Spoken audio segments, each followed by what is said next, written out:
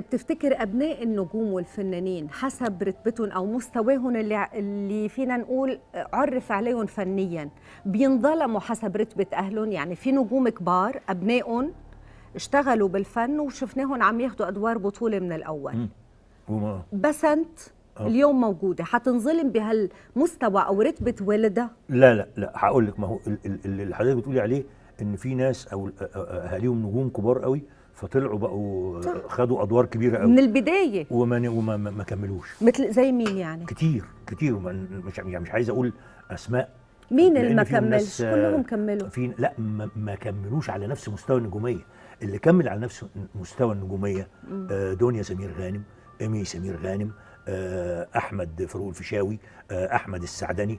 دول لأنهم ما اعتمدوش في الأساس على مرتبة أهاليهم. اعتمدوا على ال- ال- الأهالي رتبة الاهل دي عملت الدفعة الأولانية إنما لأنهم هم شاطرين وموهوبين واشتغلوا على نفسهم كويس هم اللي قدروا يعني طبعاً. يستمروا طبعا بسنت هي آه، عندها قدرات أنا وجهة نظري إنها عندها قدرات عندها قدرات أفضل. من من مني ومن ناس كتير آه، موجودة في الساحة هي بقى محمد إمام استمر كويس وبيستم وبيعلى مم. وبيعلى يمكن بدايته ما كانتش يعني انت سميت الأسماء كلها أنا شفتها كلهم آه سهو. لا ده سهو مم. سهو مش أكتر يعني مم. إنما طبعا آه، محمد إمام كل سنة بيعلى عن السنة اللي قبلها يمكن بدايته ما كانتش زي دلوقتي إنما ابتدى دلوقتي محمد إمام آه، نجم بيشيل عمل لوحده وبينجح بيه. مش آه، مش بيطلع جنب حد أو بياخد عمل ويقع بيه كان. عندك موقف من من هيثم آه، ابن الراحل أحمد زكي الله يرحمه برضه ما كنت راضي عن ادائه التمثيلي بوقت من الأوقات في مسلسل محدد. بذاته مم. يعني وما أعرفش إيه السبب اللي هو آه، دعيني أقول أسمي المسلسل كمان يعني كان كلبش. في كلبش اتنين أنا يعني ما كنتش مبسوط كان كان نفسي يبقى مع إنه النقاد أشادوا بها ماليش دعوة برأي النقاد ده رأيهم. إنما أنا بقول رأيي أنا وأنا متفرج متفرج عندي شكل من أشكال التذوق أو الوعي الفني.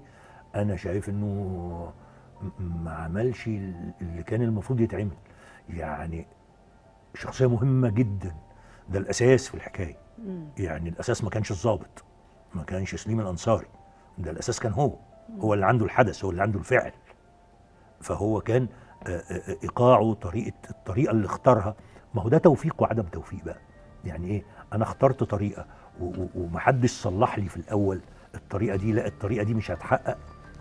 يبقى إيه؟ التوفيق هنا ما ساعدنيش.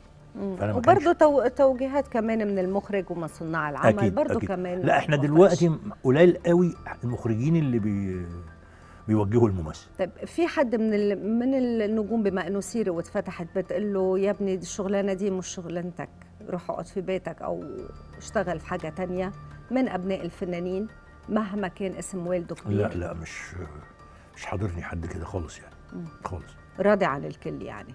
99% 99 طبعا.